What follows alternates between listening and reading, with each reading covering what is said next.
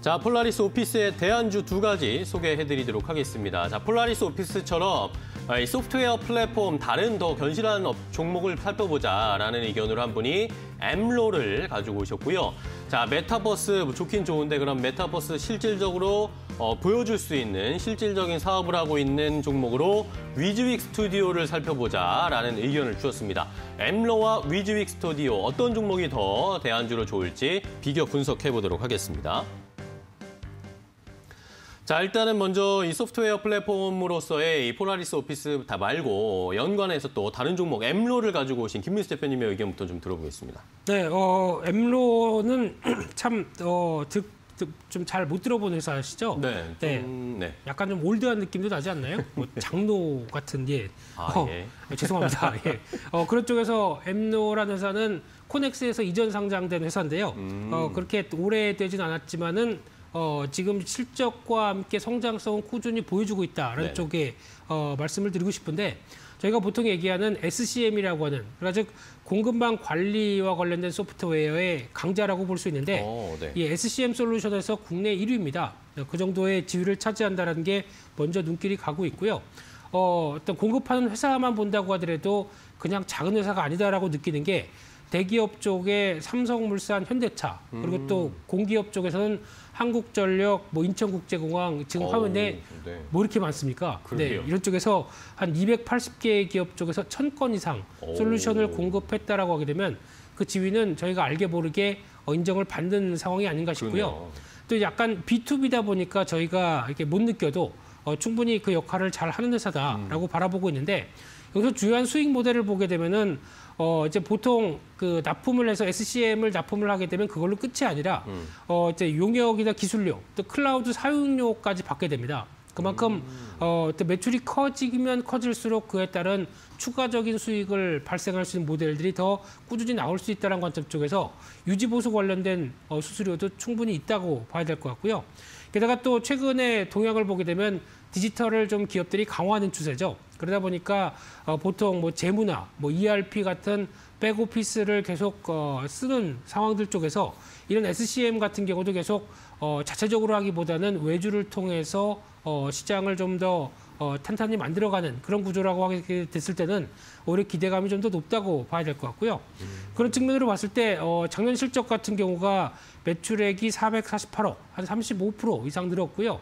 영업이익은 600% 가까이 늘어서 64억 정도 네. 늘었다고 하게 되면 이런 어, 추세적인 흐름에 또 맞는 회사다라고 봤었을 때 단순하게 어, 어떤 지금 나오고 있는 공급망 관리가 아니라 공급망 관리를 어, 공급함으로 인해서 시장의 성장과 그리고 회사가 같이 어, 어떤 성장하고 있다는 관점 쪽으로 바라보고 있는데 물론 어, 시총이 1,800억 정도 되다 보니까 살짝 비싸긴 합니다만 이런 지금 시장에서는 성장을 답보로 한 회사들이 어디냐라는 쪽으로 계속 찾고 있기 때문에 네. 그에 따른 해답을 줄 수 있는 회사가 아닌가라고 어, 바라보고 있는 상황들입니다. 네, 좋습니다. 자, 김민수 대표님은 엠로를 가지고 오셨는데 이 supply chain management SCM을 시스템을 공급하는 솔루션을 공급하는 업체입니다. 이러다 보니까 뭐 영업이익률이나 마진율이 굉장히 좀 좋을 것 같다라는 생각도 드는데 살펴보니까 계속 영업이익률도 점점 높아지고 있네요. 처음에는 뭐 3%, 8%, 어, 작년에는 8%대였는데 올해는 13%, 17%대까지는 될 것 같다라는 그런 예상치들이 나오고 있습니다. 자, 그러면 엠로를 한번 살펴봤고, 자, 이번에는 그러면 요즘 또 가장 핫한 테마라고 할 수 있는, 섹터라고 할 수 있는 메타버스와 관련해서 어, 이, 이 폴라리스 오피스 말고 다른 종목, 위지윅 스튜디오를 김명수 PB님이 가지고 오셨습니다. 어, 메타버스는 기억하실지 모르겠죠. 올해 초에 로블록스와 함께 이제 조금 각광받는 테마 중에 하나인데요. 그렇죠. 위지윅 스튜디오를 조금 말씀드리는 이유는 뭐 근래에 승리호 CG를 만든 회사이기도 하고 컴투스에서 이제 경영권 인수를 한다라면서 좀 관심을 받는 종목 중에 하나였습니다. 네. 어, 이번에 말씀드리고 싶은 거는 이번에 LG U+랑 자회사 NP와 함께 이번에 XR 기술을 활용해서 언택트 콘서트를 이번에 어. 시연을 했는데 요거에 대해서 물론 뭐, 뭐 성황리에 마무리했다라는 기사가 나왔지만 이 내용 같은 거보다는 실제로 메타버스를 활용해서 수익 실현을 할 수 있는 업종 종목이다라고 말씀을 좀 드리고 싶습니다. 네. 이걸로 뭐, 뭐 드라마틱한 수익이 많이 난 거라고 말씀드리기보다는 실질적인 수익 모델을 이렇게 구축해 가고 있다. 그렇게 구축한 곳은 많지 않기 때문에 메타버스 기업들 중에 좀 뭐가 있는 실질적으로 보이는 업종 중에 하나다라고 말씀을 드리면서 위지윅 스튜디오를 조금 소개해드리고 싶고요. 어, 이- 이번에 컴투스가 이번에 한번 위지윅 스튜디오의 지적재산권이라 표현되는 이제 IP와 제작 역량을 확보해서 컴투스가 다시 한번 뭐 이런 글로벌 게임이나 이쪽에서 많은 도움을 받고 싶다. transmedia 전략으로 IP value chain, 즉 가치 사슬이죠. 이쪽에서 만든다는 계획과 함께 컴투스가 이쪽으로 최대 주주로 등극하게 되었습니다. 즉 증강현실 또는 가상현실, 융합현실이라고 표현되는 AR, VR, XR에서 위지윅 스튜디오의 기술을 활용하겠다라는 게 보이고 있고요. 결국 게임이나 이런 영화 쪽에서 많이 사용이 될 수 있는 요 메타버스 이런 CG 또는 이런 기술력이 아마 게임 쪽에서 많이 발현되지 않을까라고 말씀을 드리고 싶습니다. 추가로 하나 더 말씀을 드리자면은 위지윅 스튜디오 에서 투자한 드라마 제작사가 하나 있습니다. H월드 픽처스라는 회사가 있는데 이쪽에서 스튜디오 드래곤과 함께 이번에 tvN에서 오늘이죠. 오늘 이제 하이클래스라는 바- 그 드라마가 처음 방송이 되면서 어, 결국에는 여러 가지 우리가 시각적으로 볼 수 있는 여러 가지 이런 메타버스라고 표현할 수 있는 이런 콘텐츠가 많이 나오고 있다. 특히 요 관계사 요 관계자는 이제 연내 계획한 이제 IP가 이런 스튜디오에서 출범이 한다면 드라마 콘텐츠 제작 편수가 증가할 수 있다, 급증할 수 있다라고 평가를 하고 있습니다. 결국 이런 드라마나 또 영화 또는 게임에서 많은 발전을 보이고 있기 때문에 결국 메타버스에 만약에 저희가 집중을 한다면 폴라리스 오피스를 메타버스 alliance라고 해서 이런 관련주로 집중을 한다면 위지윅 스튜디오도 한번 보시면 좋지 않을까라고 말씀을 드리고 싶습니다. 네. 자, 위지윅 스튜디오까지 이야기를 해 주셨습니다. 어쨌든 메타버스가 굉장히 지금까지는 뜬구름 잡는 그런 사업이다라고 생각하시는 분들이 많으실 텐데 실제로 이 수익으로 좀 구현할 수 있는 모델을 보여주고 있는 게 위지윅 스튜디오다라는 의견을 주시면서 어, 함께 제시를 해 주셨습니다.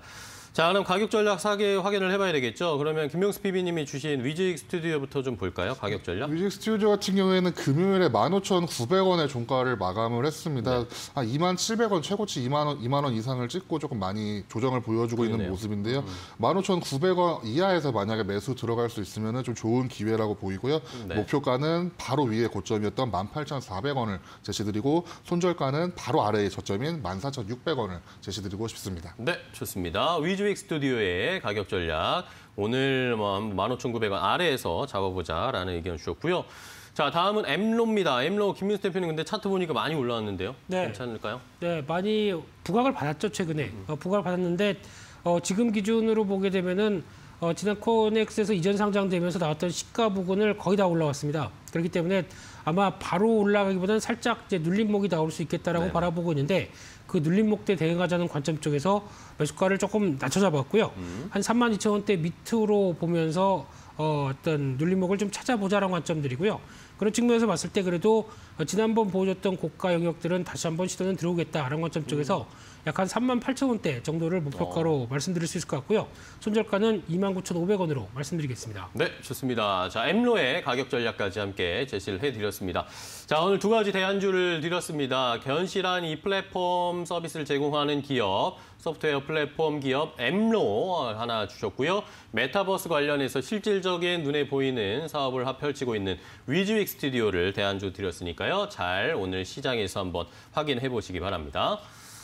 자, 오늘 기대해도 괜찮아는 이렇게 마무리를 하겠고 이제 오늘 시장에 대한 전망을 좀 부탁을 드릴게요. 일단은 미국에서 고용 지표가 뭐 생각보다 좋지 않게 나왔는데 뭐 시장이 그렇다고 미국 시장이 또 크게 흔들리진 않았습니다. 이번 주에 어, 우리 시장은 어떻게 보고 계신지 김미스 대표님.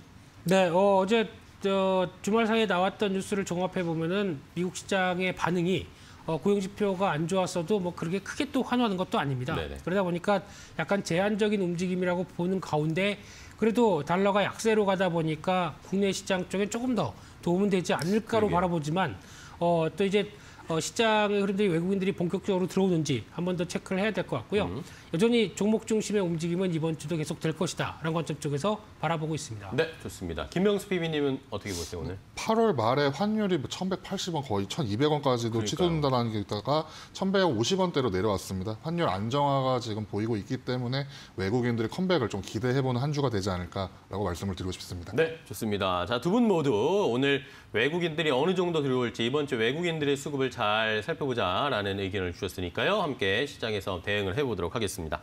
자, 오늘 두 분과 함께 이야기 나눴습니다. 좋은 종목 소개해 주셔서 감사하고 다음 시간에 또 뵙도록 하겠습니다. 고생 많으셨습니다. 고맙습니다.